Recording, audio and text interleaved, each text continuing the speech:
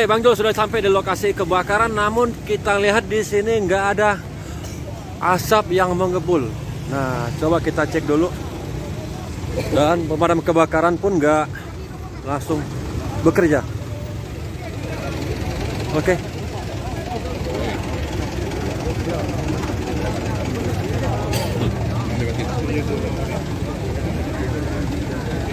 Oke, eh, apinya pun alhamdulillah nggak menyala besar. Oke, ini sepertinya gudang mainan. Apinya hidup dari atas, namun mungkin udah padam bang. Udah bang ya. Jadi apinya nggak cepat membesar bang ya. Oh, udah bisa di atas sih. Oke, dan petugas pun sudah sampai di atas. Oke. Siram. Siram, deh. Pendek, bis. Mundur, bis. Oke, eh, pemadam yang ada di atas meminta serang. Oke, dan itu. Oke. Ya. Ini bekas terbakarannya ya. Dan alhamdulillah api dapat langsung dipadamkan. Oke. Kawan untuk antisipasi pemadam tetap melakukan penyemprotan. Mungkin masih ada titik api di atas. Ini di lantai tiga. Tepatnya alamatnya di Jalan Bypass. Oke.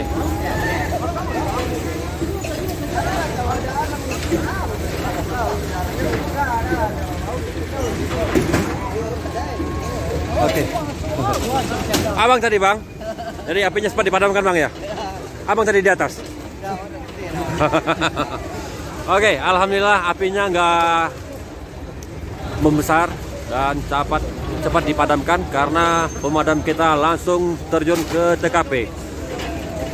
Oke, nih masih ada. Oke.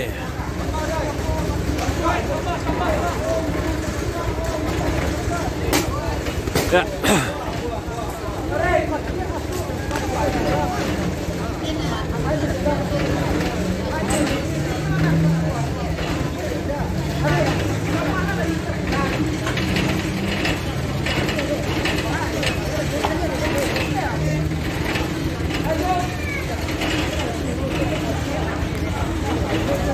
Oke.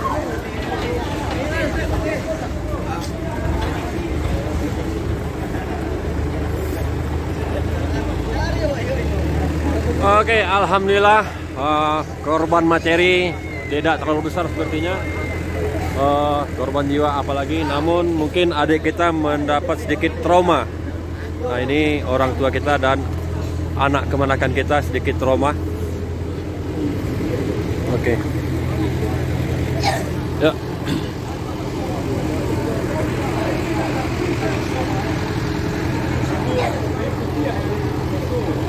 Oke. Nah, anak kita pun masih trauma.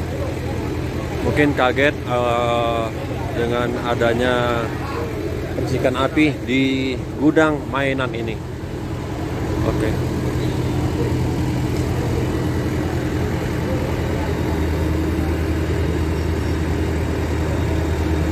Oke, dan ini pun yang turun cuman selang kecil ya.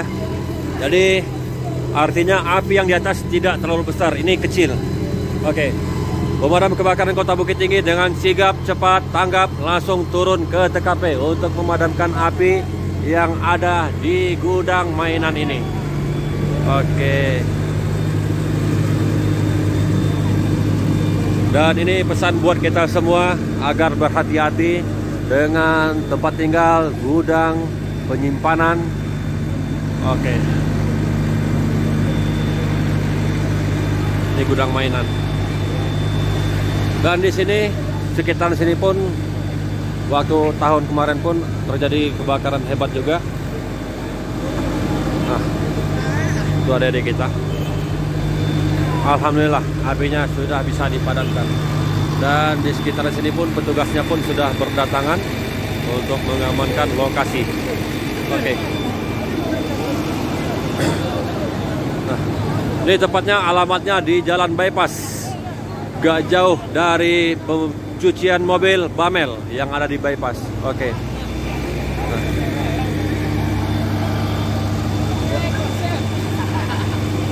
Ini dia. Terima kasih. Pak, hah? Situ Pak. Iya Pak. Dan ternyata lokasinya ini nggak jauh dari tempat usaha Bang Jul. Bang Jul dulu pernah ngontrak di sini. Oke. Dan ini adalah uh, toko material bahan bangunan dulunya. Oke. Dan situ pun mobil pemadaman pun sudah datang kembali.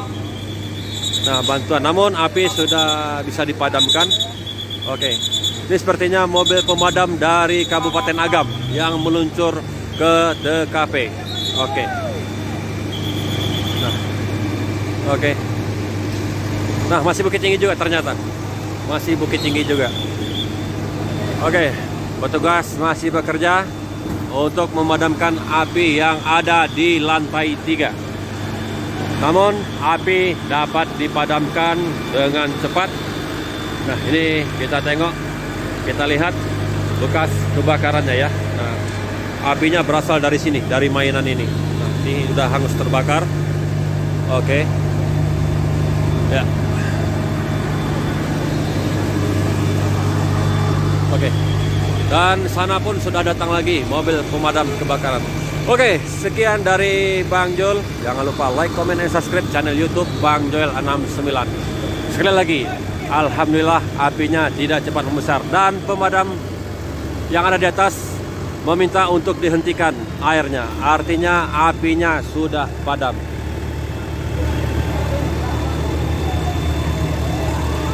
Nah, masih datang lagi, masih berdatangan. Alhamdulillah. Oke, sekian dari Bang Joel 69.